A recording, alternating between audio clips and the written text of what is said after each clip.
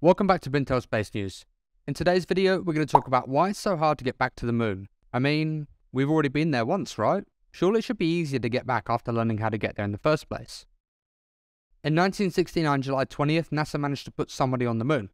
This was an amazing achievement and was watched all around the world, and the famous words were spoken.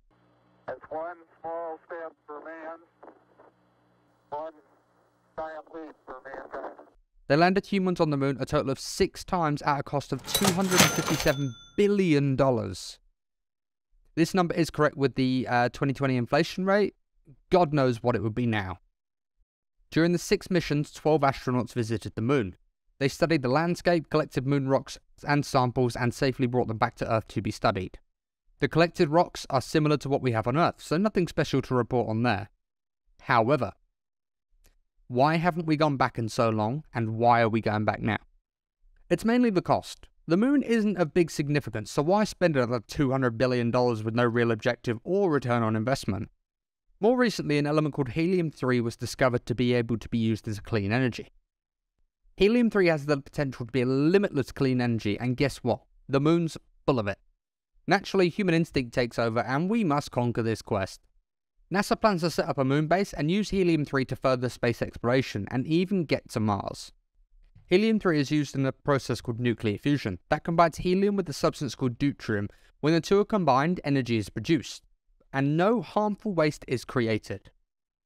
Helium 3 and deuterium are both positively charged atoms. When you try pushing two sides of the same magnet together, they push back against one another. With enough pressure, you can overcome this problem and the two atoms fuse together. When they are fused together, you heat them up and the single atom releases energy that's stored inside. This process is called nuclear fusion. It will cost NASA anywhere from 25 to 30 billion dollars per trip to the moon. This is this is significantly less than the 250 to 300 billion dollar price tag stated earlier in the video. This is because technology has advanced at a rapid rate and it's said that the average smartphone has more processing power than the original computers that got us to the moon in the first place. NASA's new rocket Artemis 1 is the most powerful rocket ever made using liquid hydrogen as fuel. Liquid hydrogen is so light and it can escape through the smallest of gaps. The fuel tank needs to be 100% airtight, otherwise you have a fuel leak.